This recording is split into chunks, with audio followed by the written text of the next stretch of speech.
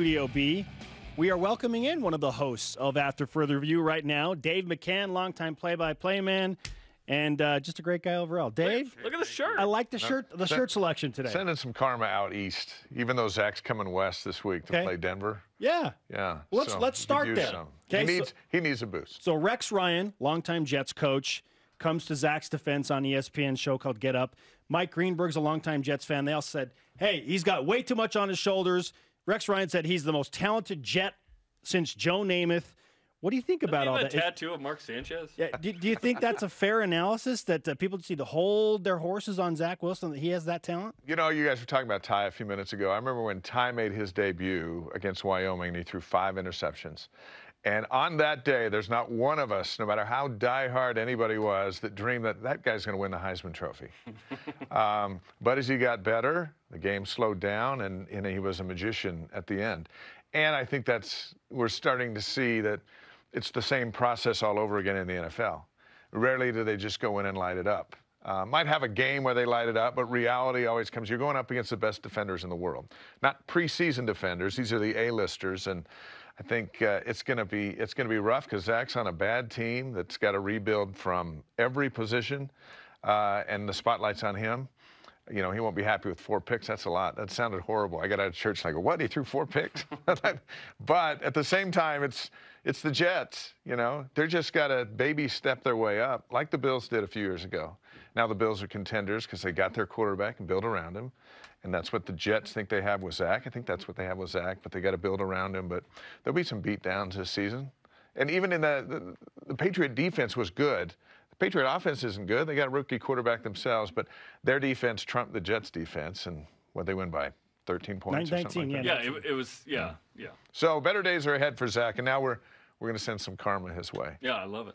Okay, let's talk about BYU and Arizona State. What what a crazy game. Three and zero, two ranked wins. The crowd, Tyler Allgeier's play. That was insane, man. It is so fun, and and you just hope that uh, that Cougar Nation can enjoy the ride.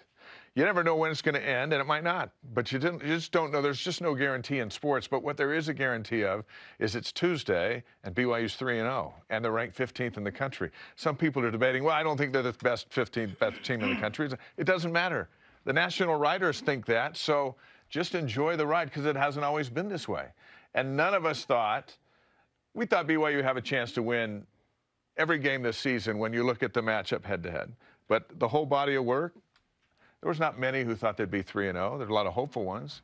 As they go game by game, I can see that we BYU should beat Utah if they play well, if they protect the ball. They have a chance to beat Arizona State if they win the turnover battle, which they did. And now they look at South Florida, and it's got to be a game where the starters need the second half off. And this is kind of a could give them a, almost a week and a half. It'll sound horrible, but I'm not a coach, so I can say Not it. on the team. Yeah. Uh, you could almost give the starters a week and a half rest before Utah State, and then you got to do the same thing because of that stretch run you were talking about a moment ago, with all the P5s. There are some games in there where Allgeier doesn't have to play more than a quarter and a half, Sure. and that that would be good. That would preserve him for the USC's at the end. Yes, I bet he's beat up, and and that's the cost of kind of playing this schedule, which we'll get used to in the Big 12. But here we are. Yeah, we were we were talking about the depth of this BYU football team and asking each other, okay, do they have the depth truly to win 10 games in the regular season? I think it comes down to taking care of business against the next three group of 5 opponents being 6 and 0 going to Baylor, and then they've got a real shot to uh, to win four of the final 6, which includes USC, Baylor, Washington State, and Virginia. Do you feel like this team has the depth to win 10 regular season games?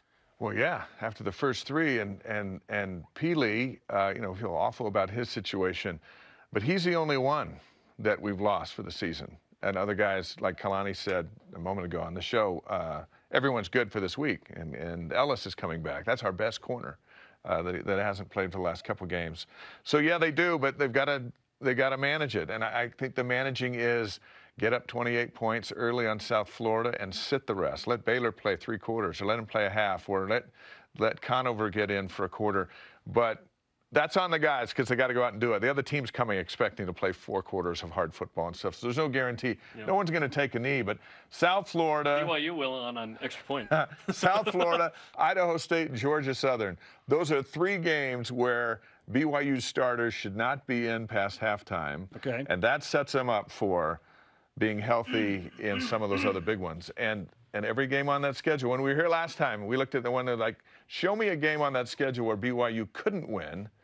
When you look at them, can they win all 12? That's that's ominous. Probably not. But when you go game to game, could they beat USC? Well, USC's playing their freshman quarterback. Um, Local kid. and you know, and that game's still so far away. Who knows who's going to still be standing there? But, but absolutely they could. I think Arizona State might be the best team in the Pac-12. Yeah, and we said as much earlier. you know? Yeah, yeah. I, in the Pac-12, more than Oregon. Or Maybe, in maybe the not. South. Maybe yeah, in the Pac-12 South for sure. South, yeah, okay. Oregon clearly the best team. Gotcha. Yeah. Um, after further review tonight, what's in store? The beauty of after further Review is we're not on film, as you mentioned a moment ago. and with digital, you can do all these things with the stuff. And so we're going to look at the punch out play from Allgeier and a Oh, bunch of different angles. what a and play. Get David and Blaine to dissect the thing. And, and it I want a might reenactment. be. Uh, Can we do that? Yeah, Blaine will come. Blaine will come leaping. He'll have to sign the insurance waiver, but he'll actually leave the ground. Yes. Come over Nixon's shoulder and try to knock that away. But was it the greatest play in the in the history of LaVell Edwards Stadium, at least on defense? It might be. And a lot of people were talking about that that Kyle Morrell Hawaii stop Mm-hmm. um, as one of the greatest defensive plays in school history. That only got bigger as the season went on. Yeah. Kyle Morrell made that tackle on September 22nd. Wow. There were eight other games. And so as they got to 9, 10, they won them all. They're looking back going, well, you know what play saved the season? All the way back in September. Yeah. Back in September, it was just a really good play that helped them win that game. Time's going to tell us how uh, valuable this play was and this performance by Allgeier.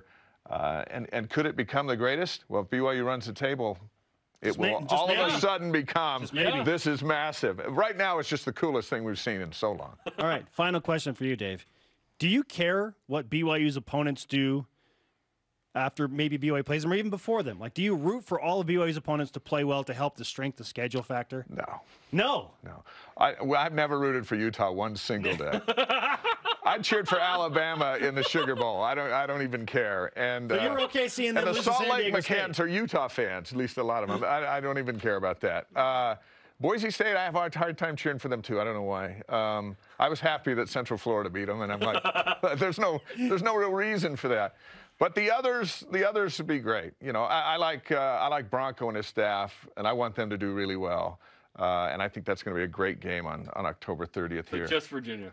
So maybe Virginia. There's a couple others. I like UNLV. You know, I spent a lot of time with the Rebels. I always look to see how they're doing. You okay with Arizona State playing well after this? I'd love to see Arizona play. All right. I, I, I think Herm Edwards is, is a real cool guy, and and that Jayden Daniels is a good quarterback, who could not run against Ten BYU's defense. yards. Yeah. Ten Crazy. yards. So yeah, so there's a couple in there, but then again, you know, Fair enough. I no, I appreciate the honesty. I think That's great. I think in, in Utah's scrimmage, I've cheered for the JV team. I, that's just that's just how we were raised. To that level. I love it. Dave McCann. I'm with you. See you guys. We're looking forward to you on after further review tonight. Thank